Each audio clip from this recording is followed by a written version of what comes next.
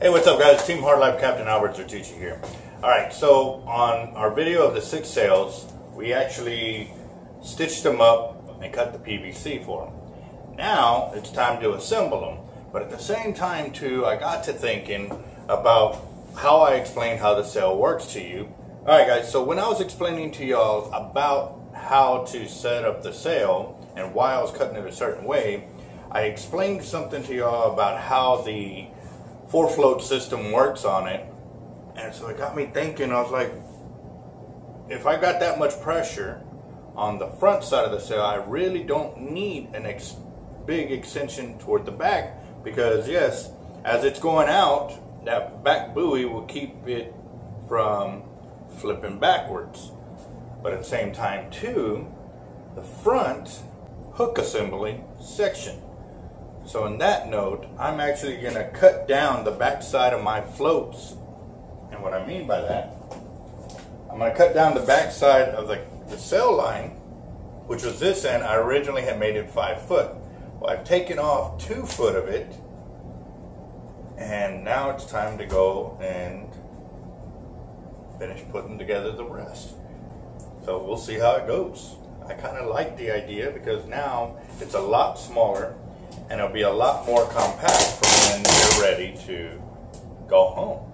So let's go ahead and get it set up. I'm gonna make the rest of them. All right, another thing what I've also done too is the side support buoys.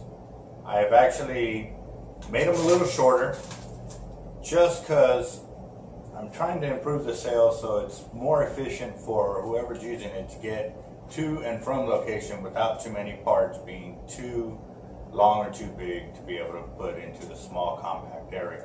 So that's why I'm going a little shorter. But the foam, as you can see, is pretty big.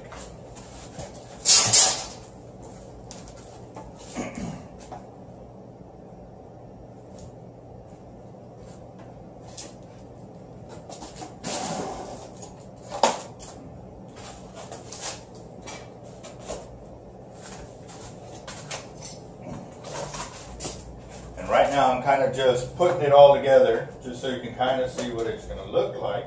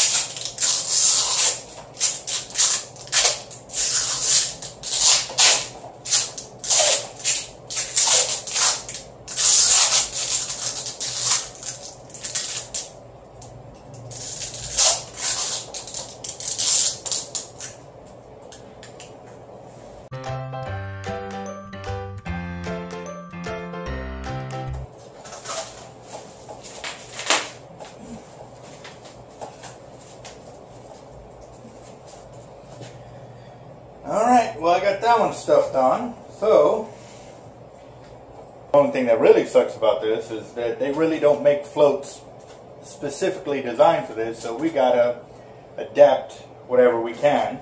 So what I've done is, I've used tape to add a little more gap and then a smaller piece of the same kind of foam to absorb the, or to fill in the gap in between here and the PVC. And what I'm going to do now is I'm going to put a cotter pin here, as I have done on all of these, to lock them in so that way they don't slide off or go anywhere. I just needed it also too to keep from sliding up that way and give it its counterbalance that I need. So.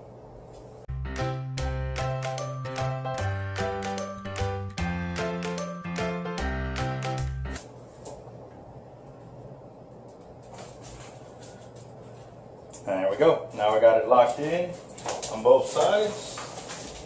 All I have to do now is do the PVC glue to keep my sail from falling off the top. But when they're done each day, they can just fold it over and it's good to go to travel.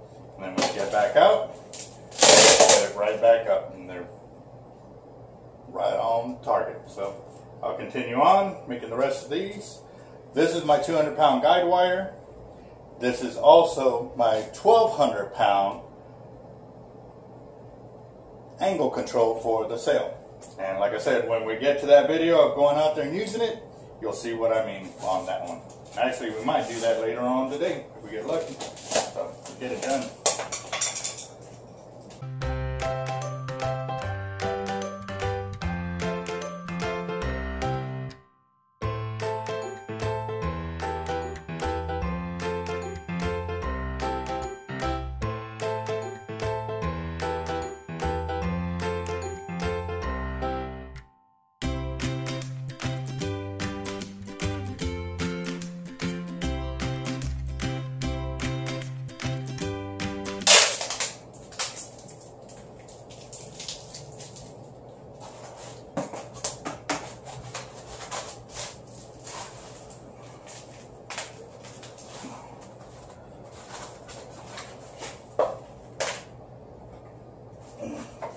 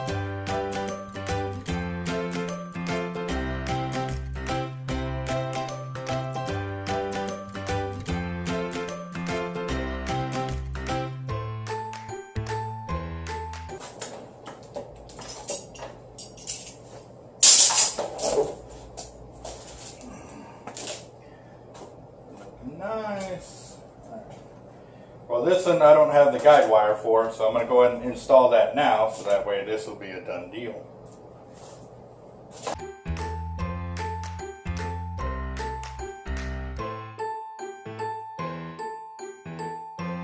What I also like to do is I like to pre pre-rig all my sleeves as I'm going, so that way, like I used to do my kingfish leaders, um, I used to install the hooks and then I would sit there and fold and do all my bends. But every time I would break off the excess piece, instead of it being a little tag end that you would throw away, it would stay hooked up to the main line. You know, and it doesn't seem like much, but when you're building two to three, four hundred of those king rigs all in one sitting, that'll add up, and you end up eventually getting an extra leader out of it and stuff. So that's kind of my same philosophy when I'm building my leaders or anything with mono. Uh, try to keep the mess to a minimum. Vices all the other drilling that I've already done, so.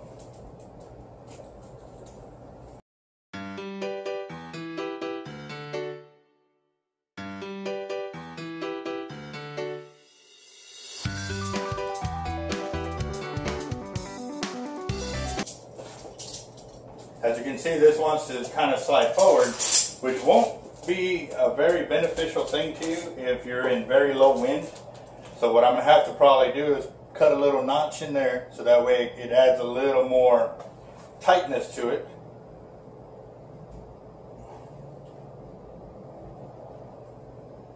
So that way it, it keeps pressure to keep it, keep my sail sitting up high, not way down low. So. And I tell you what, these little cutters again from Home Depot are an awesome addition to our monofilament cutters. They're made for electrical wire, so monofilament is pretty nice to cut once it's all done. So there's number two.